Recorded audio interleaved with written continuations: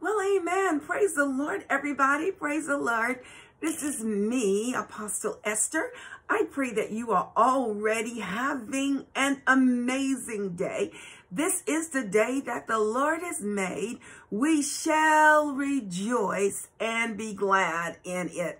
I often say it is a choice to rejoice and I choose to rejoice. Listen, I am simply an ambassador of the Lord Jesus Christ, a good news carrier of the gospel of the Lord Jesus Christ. I want to thank you for joining me on today. We are super excited about the assignment that the Lord has me on.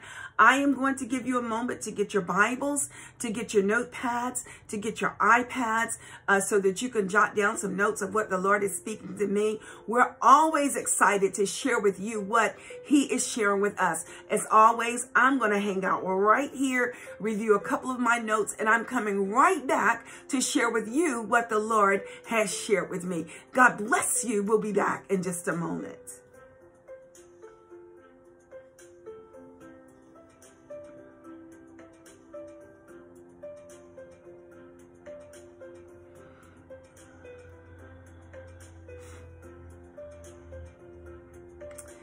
As promised, we are right back. We want to go right back to Psalm chapter 85, and we're going to read in your hearing today verses 8 and 9 out of the King James translation. And the Bible says, But I will hear what the Lord God, what God the Lord will speak, for he will speak peace unto his people and to his saints, but let them not turn again to folly. Let me read that again. But I will hear what God the Lord will speak, for he will speak peace unto his people and to his saints, but let them not turn again to folly. Verse 9, surely his salvation is nigh them that fear him, that glory may dwell in the land. Uh, so we uh, we thank the Lord for the reading of the word on today. Verse 8, but I will hear what God is speaking, for he's speaking peace unto his people and to his saints, but let not them turn again to folly or to foolishness. So in this hour, God himself is speaking peace to the kingdom. He's speaking peace to his children. And we have to take refuge in that. We must take comfort in that, that whenever God says peace, peace is what it is. As he says it, so it is. And so whenever the Lord is speaking peace, we need to begin to operate from that place of peace. And the Bible says, once you understand that you're in a place of peace, don't go back to foolishness. Don't go back to, to, to that folly.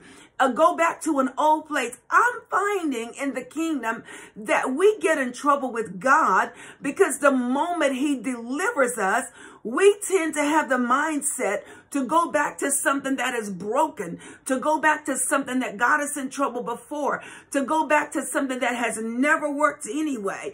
And so I want to encourage you when the Lord places you in a place of peace, and at a place of peace. That is the place that you prosper in. That is the place that you abide in. That is the place that you dwell in. And, and we need to, as believers, take refuge in that place and watch God bring his glory in, up, through, and out of our lives. Verse 9 says, Surely his salvation is nigh unto them that fear him, that the glory may dwell in the land. God is releasing his glory in the land.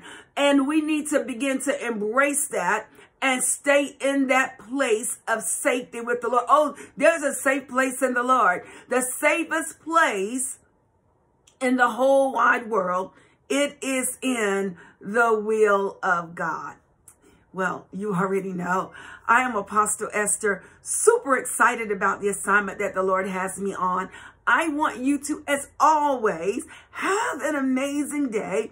We will be, we will be back on tomorrow with more of the good news gospel of the Lord Jesus Christ. We are here every Monday through Friday at 10 a.m. I want to thank all of you that are subscribing, those of you that are sharing and liking the content. If you are a subscriber, you already know uh, the added benefit that you have is that each time I upload content, you get that notification that my content is viewable and it is shareable. Um, I want to take a moment to thank all of you that are sharing my videos. Um, they are available here on YouTube. They're available on Facebook and they're also available on our Kings Court Min um, website. Um, so anytime you want to look at what we're doing, uh, just go right over there. All of my videos are uploaded on there. I want you to have an amazing day. We will be back with more uh, good news of the gospel of the Lord Jesus Christ. God bless you.